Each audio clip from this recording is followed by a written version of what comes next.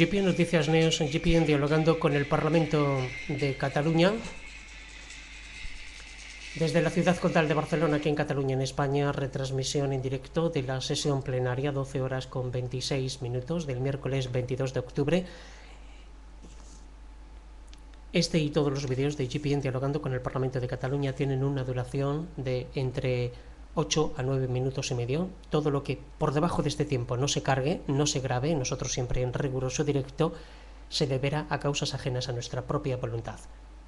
GPN Noticias Neos, GPN Dialogando con el Parlamento de Cataluña es un servicio ofrecido por gentileza de los fotoperiodistas freelancers que desde todo el mundo nos proporcionan reportajes gráficos en una plancha de 20 colores, diapositiva paso universal acompañado de texto correspondiente para después difundirlo en la prensa de España. Imágenes de fondo de Lidia Santos y Arnau, si no me equivoco, secretaria primera del Parlamento de Cataluña, perteneciente al grupo parlamentario del Partido Socialista.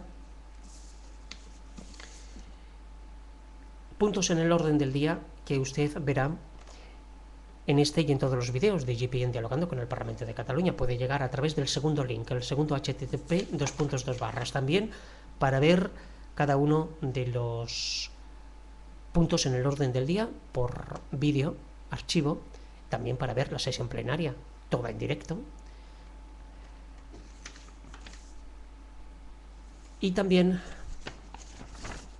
para tener acceso a los puntos del orden del día por escrito. Vemos ahí a dos personas pertenecientes al grupo de Esquerra Republicana de Cataluña, pero la última es perteneciente al gobierno de la Generalitat de Cataluña. Para actualizar los datos, estoy intentando descargarme, no sé si ustedes lo han hecho ya, descargarme las, las imágenes de la página web del Parlamento de Cataluña, pero lo hace muy mal. La última persona era Josep Luis Carol Rovira del Grupo de Esquerra Republicana de Cataluña. Una página web del Parlamento de Cataluña, bueno, está muy bien, pero hay que seguir trabajando, se tienen que seguir esforzando, que presupuesto tienen mucho y personas también, para, mm, para hacerlo mucho más accesible, porque a veces es un poquito lioso. Yo mismamente, a veces hasta me lío GPN Noticias Neos en GPN dialogando con el Parlamento de Cataluña. Conexión en directo, ya sin más demora, con la Cámara Catalana. Hasta dentro de unos instantes. Una carga política molt profunda. Ens hauria agradat, dic, poder arribar a un consens més ampli, que jo entenc que en bona part, i malgrat els resultats, existeix. He d'agrair, vull agrair a tots els ponents, al senyor Oms, al senyor Muntanya, el senyor Domingo, el senyor Miralles, la senyora Simó, la feina i l'esforç posat i la cordialitat del debat fos en ponència o en negociació bilateral.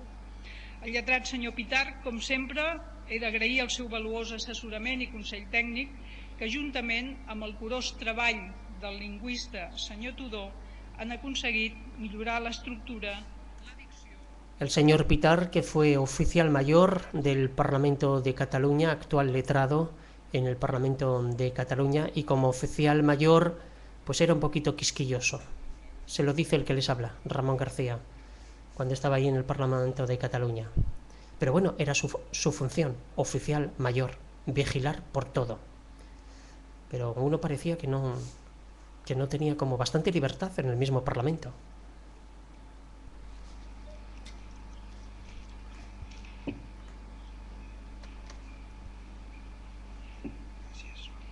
Gràcies, senyor president, senyor conseller, senyors i senyors diputats.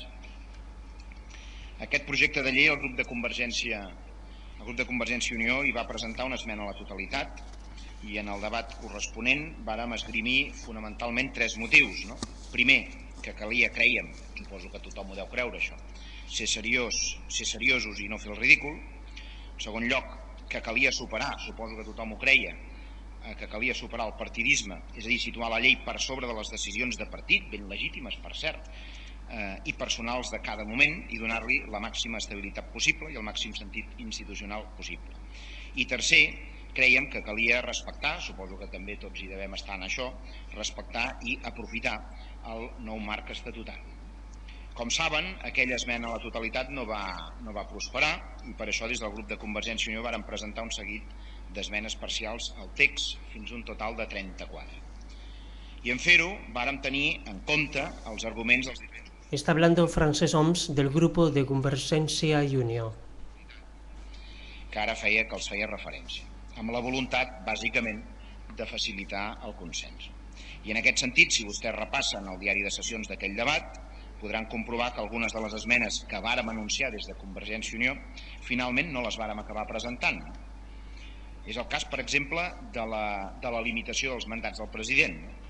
Aquest és un compromís programàtic de Convergència i Unió i, i això ens semblava, també era un compromís programàtic dels grups que donen suport al govern, del tripartit. No? De fet, el pacte del Tinell, que en l'anterior debat doncs, feia una clara referència no? com, a, com a full de ruta, deia literalment que cal reformar la llei 13 barra 82, que és de fet el que estem fent avui en molta part, no? Limitant la reelecció indefinida del president de la Generalitat i establint una durada temporal màxima a l'exercici del càrrec. Però ara, davant del que és, com deia, aquesta reforma de la llei 3 barra 82, vostès, qui dona suport al govern, el tripartit, renuncia a limitar els mandats dels presidents, a obrir aquest debat eh, fent honor, a criteri nostre, una vegada més, aquella màxima que els distingeix de paraules i no fets.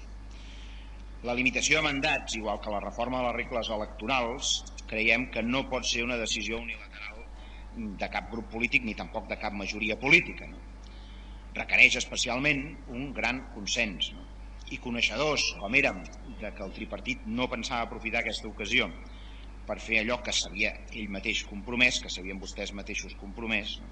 vàrem optar per no presentar esmenes i no forçar aquest debat en aquest sentit. És una llàstima eh, que no hàgim aprofitat entre tots aquesta ocasió. Tot i que, com els he comentat, des del grup de parlamentari de Convergència i Unió ens va semblar que calia prioritzar aquelles esmenes que podien suscitar més consens, com s'ha explicat abans, aquesta és una llei institucional bàsica, que fora bo que hagués nascut amb el consens necessari, no? eh, ni així els portaveus del tripartit eh, s'han avingut a acceptar cap, cap proposta del grup eh, que els parla, no? en nom de qui els parla, no? que de fet és el primer grup d'aquesta cambra.